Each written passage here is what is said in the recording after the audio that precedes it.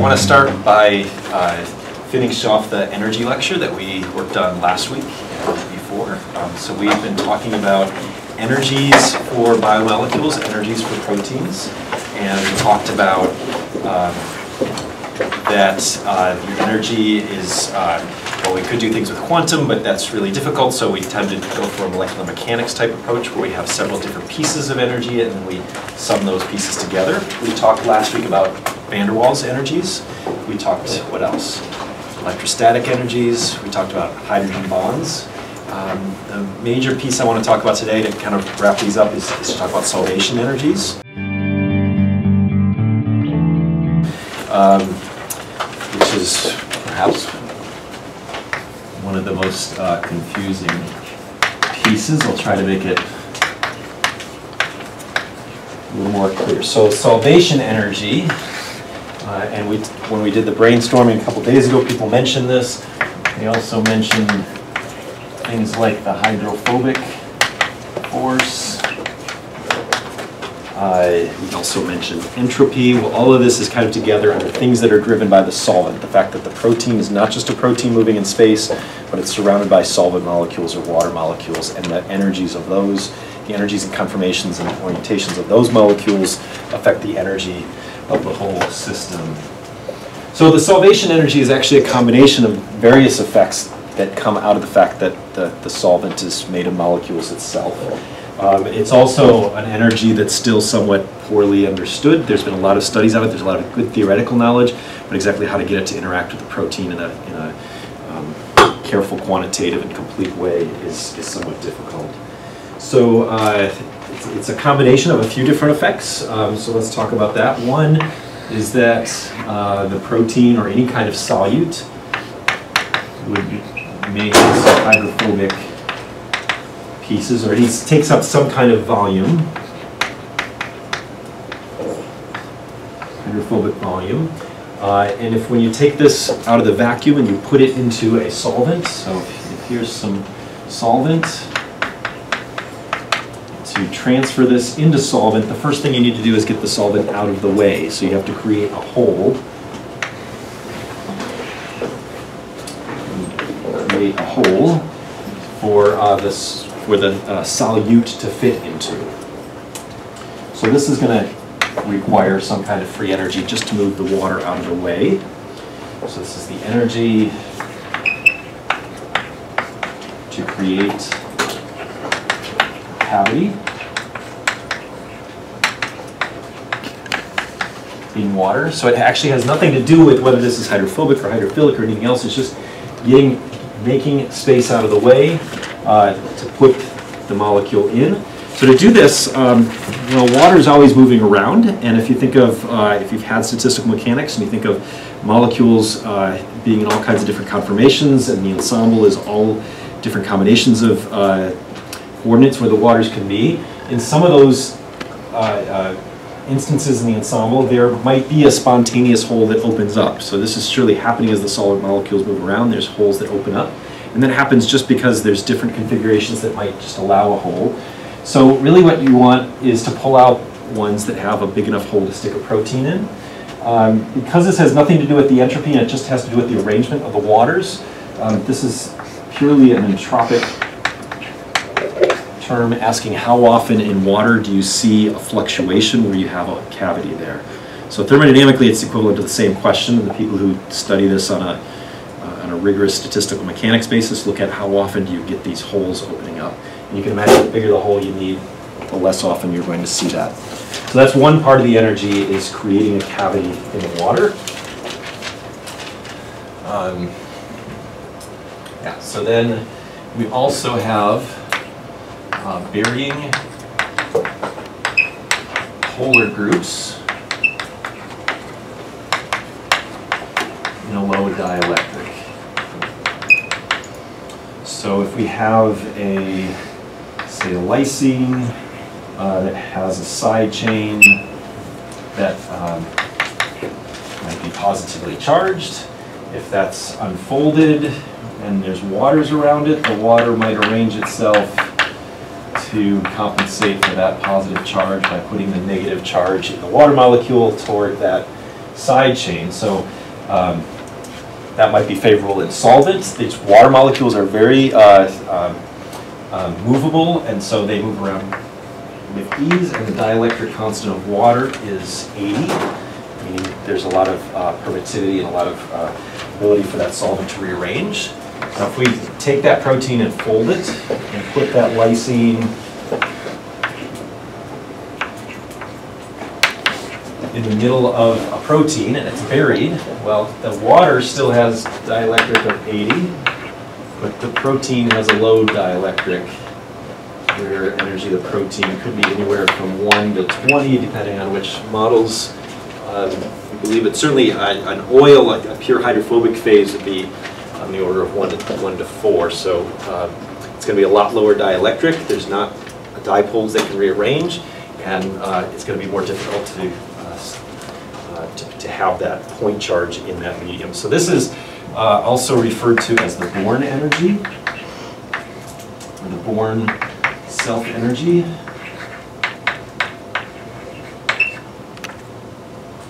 uh, of an ion. The Born energy uh, simply refers to the electrostatic equations that if you were to take an ion and you put it in a dielectric, how much energy does that take to do? Okay, and last, um, um, so, so this is for burying polar groups. We compare that with burying non-polar groups. So if we have uh, an unfolded state and say a valine, and we have waters around there, and we have a a phenylalanine, and then we take that unfolded state, and fold it into a protein, and now maybe we bury these hydrophobics, and the, um, the hydrophobics are in the middle, and the shapes are complementary. And so in this case, we have a lot of surface area around here where waters have to be around the hydrophobics, whereas inside here, we're minimizing the surface area and we're packing these together.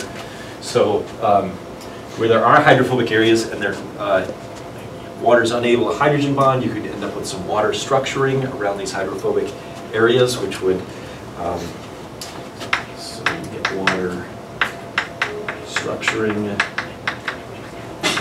around exposed hydrophobic surface area. Um, And in the folded state, we have less exposed uh, surface area.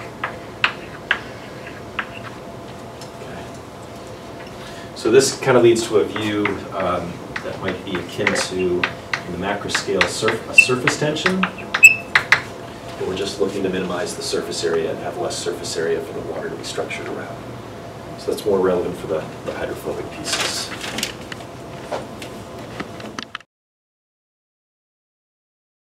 Part of why it's hard to quantify, because you're looking at different physical pieces, it's a little unclear how to add these together. Certainly, the entropic piece uh, has to be averaged over whole statistical ensembles of different configurations of the molecules of the solvents, and that's difficult to capture and model. Um, So what's going to happen? We're going to have a few models that can incorporate different parts of these, uh, these contributions. So one of the easiest is a solvent accessible surface area model.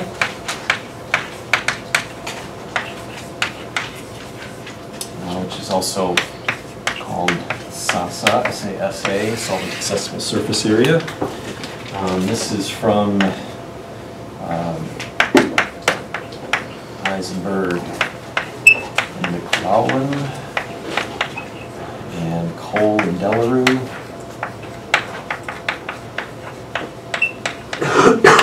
This is going back a little ways. This is 94 and 86.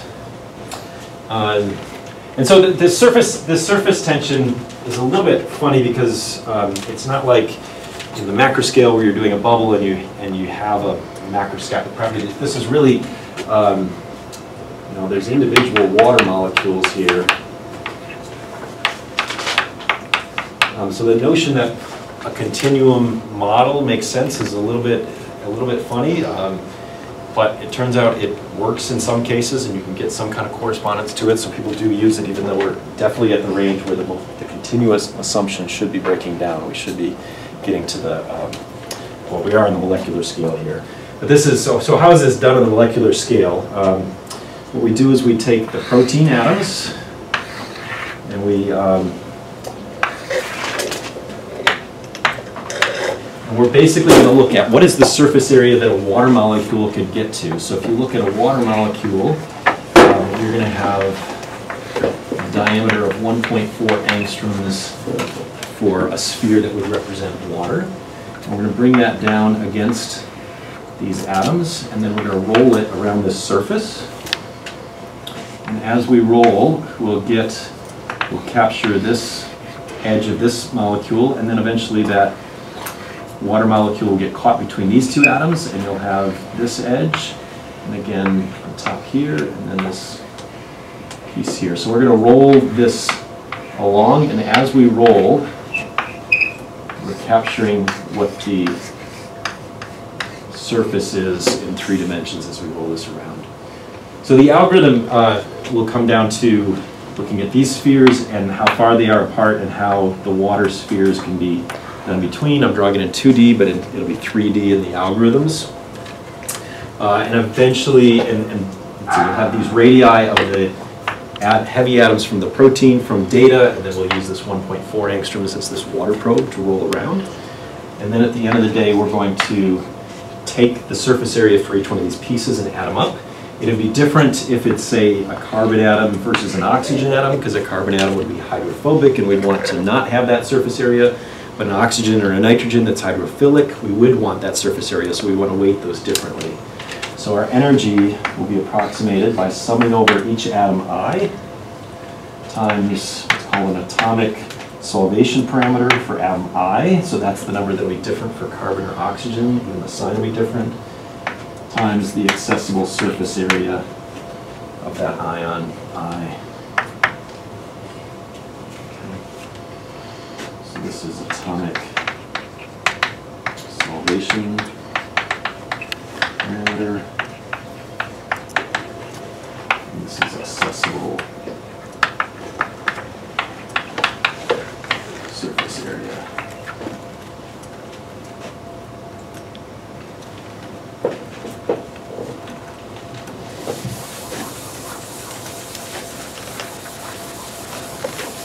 Okay, so This is somewhat slow to calculate. It's relative to something, relative to the van der Waals, where you're just looking at the distance between and you calculate a number there, this is slower, because you're gonna have to figure out all this geometry of where all these curves are, and then do the sections of the sphere to figure out how much area is there. So this algorithm is slower than van der Waals, it's faster than Poisson-Boltzmann, where you're solving a continuum equation, um, but it's slower than that. Um, But that, it- it's slow to calculate, but there are also, there exist faster methods so are there ways to speed it up, say by putting points in space and figuring out which points get covered up? So there's some ways that this calculation has been accelerated. If we look at the numbers, if we look at atoms, um, the atomic solvation parameter, so carbon is 16 plus or minus 2 calories per angstrom squared per mole. This is coming from Nicole and Delarue, whereas nitrogen and oxygen minus six plus or minus four for a neutral nitrogen or oxygen. So a charged oxygen, minus 24, charged nitrogen, minus 50, and sulfur hydrophobic, so back to 21, a positive value. So the negative values, those want to be exposed to solvent, the positive values do not want to be exposed to solvent. So, so this is one algorithm we use in Rosetta. Typically, we don't use that till the end of a calculation because it's slower. and We want to save that for the end. During a calculation, we need something fast. Because we're looking for something fast, um, we like a pairwise calculation where you simply have to go over all pairs of atoms and look at how their interactions together um, contribute. So I want to talk about the pairwise effective energy um, function for solvation. This is also called the uh, Gaussian exclusion model. Uh, The effective energy function is EEF1. It's also what it goes by, and this is by Lazaridis, Themis Lazaridis, who's a chemical engineer. Martin Karplus, we talked about before, we got the Nobel Prize last year. This was published in 99. And how this works is we have, so we have a carbon atom, another carbon atom. And as these carbon atoms come together, we want to look at how that potential varies with distance between these atoms. So again, we have this Rij between the atoms. And what happens? As it comes together, we're going to make it less likely that we see solvent atoms in between here. And that's what this is going to look at. So this is going to look at the, the Gaussian, the it's it's called Gaussian is it looks at fluctuations in atoms, like a Gaussian distribution. It looks how the waters fluctuate around. And so, like in the, uh, like in the surface area model, consider that there's waters outside, except now they're not just rolling around the surface, but they're in different places. And um, let's see, you can get this water molecule, the center of this water molecule can get up to uh, the radius of the carbon atom plus the radius of the water molecule is how close it can get.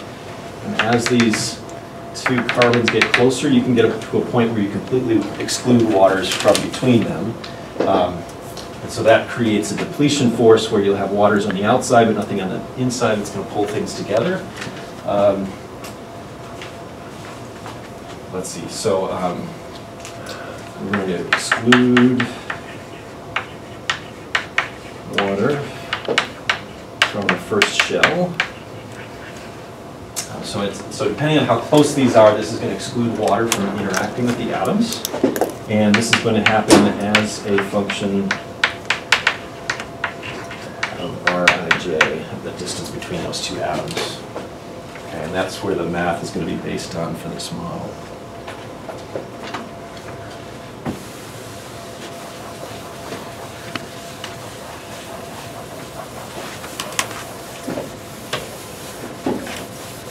Okay, there's quite a bit of stat mech that goes into the derivation, so I'm not going to do that, but I am going to show you what the outcome looks like and talk about what some of the terms mean.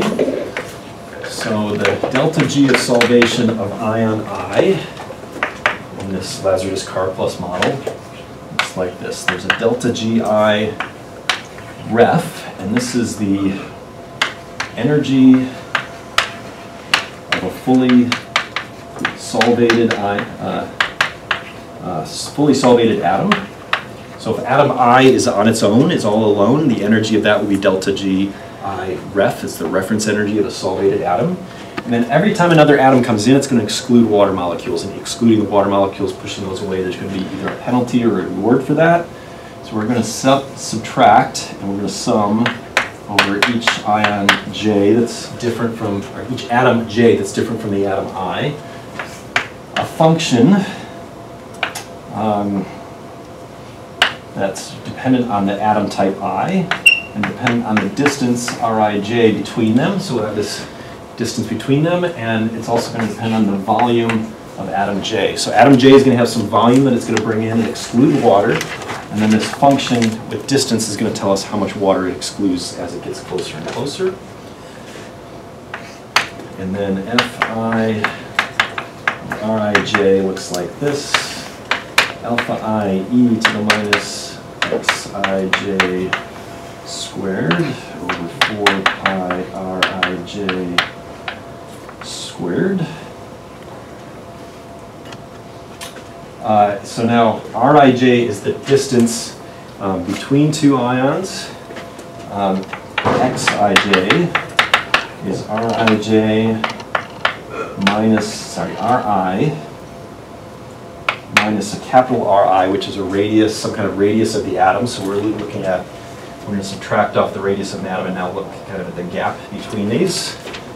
Um, divided by lambda i, which is a screening length, which tells how fast this stuff's going to die off. So this, This is an exponential die-off, and here's the Gaussian statistics, e to the x squared, that's the, that looks like a Gaussian. Um, So this will die off with distance, there's an Rij on the bottom, and then alpha i 2 delta g i free over root i lambda i. That lambda i, again, is the screening distance of how fast this screens off with, as you go further away. Uh, Lambda i is typically, well, they plug in 3.5 angstroms or 6 angstroms. So in general, that's saying the atoms are feeling the first or second shell of waters. Um, and this delta G free, this is our other parameter. So the two main parameters are delta Gi and then delta G free that go with the atom. And what the delta G free does is say as we bring um, uh, as we bring uh, atoms in and bury things, it's going to bring um, so as we bury the atom, the total G solvation goes to zero. So that the delta Gi is going to be, uh, the reference energy will be positive for hydrophilic atoms like carbon and want to not be there. And then as we bring in other things to bury that carbon, this delta G free is going to be uh, positive again. So we're going to subtract that off and the energy lower and lower until it gets to zero because we de desolvated it. For a charged uh, ion, this would be a, for a charged atom, this would be a negative number because it likes to be solvated. And then as we bring in more and more atoms to bury it, this will again be a negative number. The negative times the negative will be a positive, and we'll go toward uh, a neutral again. We'll go towards zero when it's totally when it's totally buried. All right, so I went through that a lot. You, and you don't need to know all of these things and their meaning. I think what's important to know is that DG ref is this reference energy of an ion that's in the solvent, and then this DG free represents the energy as it gets buried, and then it's getting buried um, by each of the pairwise uh, interactions of atoms coming in.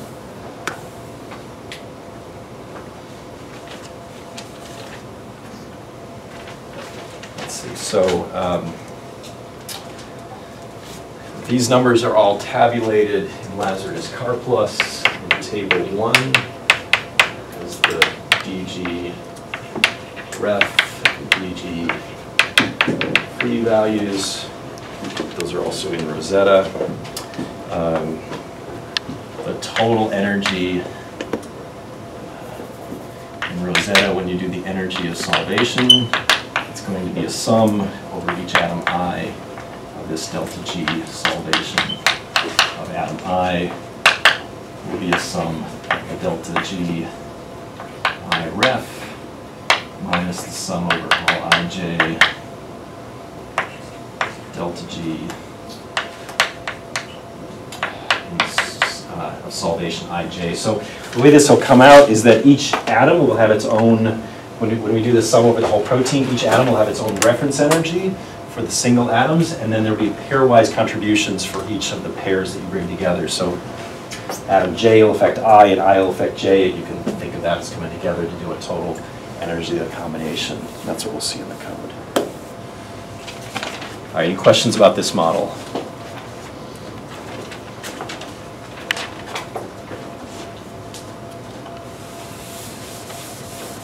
This has been expanded to be done in the membranes. There's now a, Lazaridis has a model.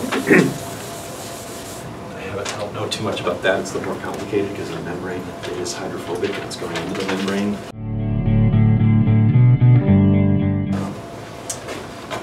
So, so this has been a pretty effective and it's, it's also fast, so that's helpful. Uh, the last thing I want to talk about is energies and forces. So we put a bunch of equations on for energies. So if we know the energy, how do we get the force? That's the question. How are force and energy related?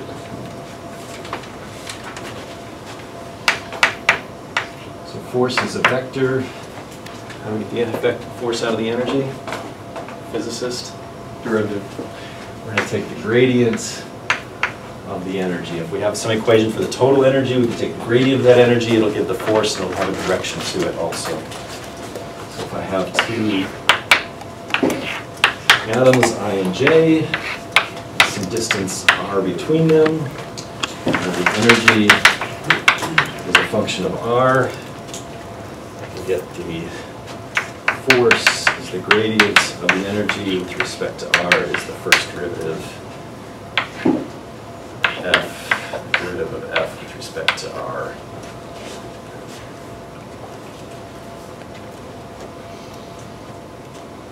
Uh, let's see, what else? Derivative with respect to the distance r, and then this would be in the direction. I mean, This would be in the direction, this is gonna be in the direction of the vector between these two atoms. So how is the force felt internally? So let's say we have I and J are bonded together, and then somewhere over elsewhere in the protein is, is atom K. Actually, let's do it this way, because we had I and J there, let's call that K.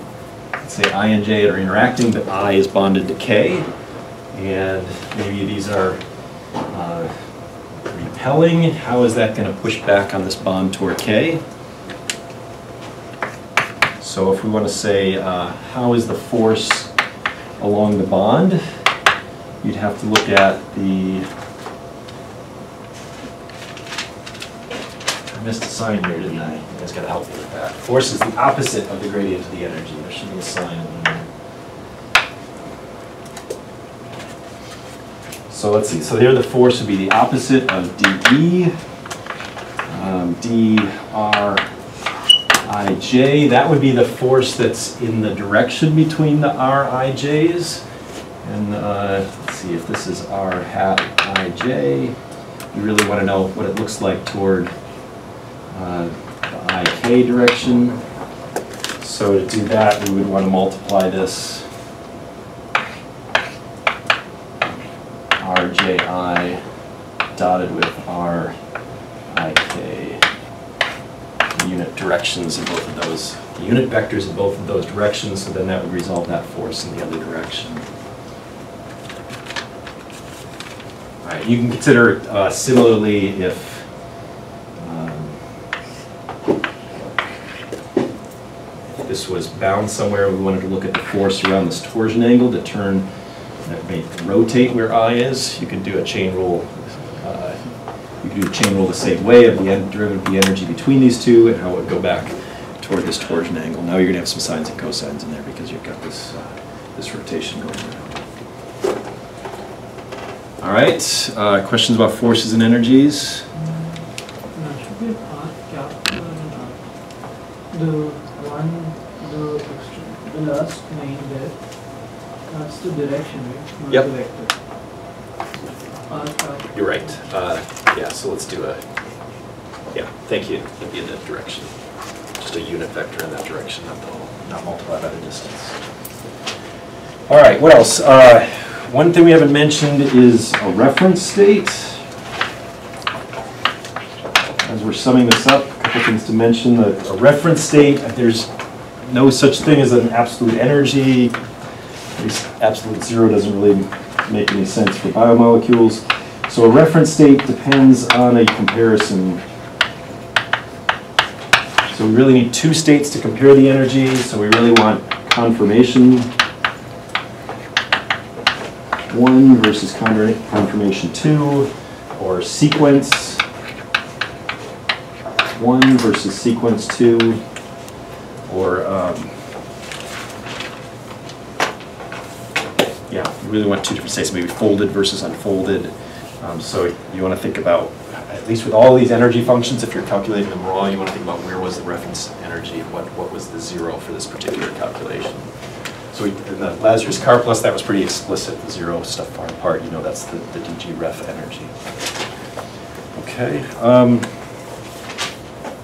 Yeah, so that's it. So I offered all these pieces. Um, One of the tricky things about proteins is proteins keep a lot of these forces in balance. So oftentimes the electrostatics and the attractive van der Waals are carefully balanced with the solvation forces that are maybe pulling things apart. So a lot of times these things are carefully balanced, and as you calculate them, you have to have good numbers for all of them to get the right net positive or negative number at the end of the day. So the balance and and precision on these calculations is pretty important, and like I said, as a field, we keep refining these models and finding better models to estimate the energies.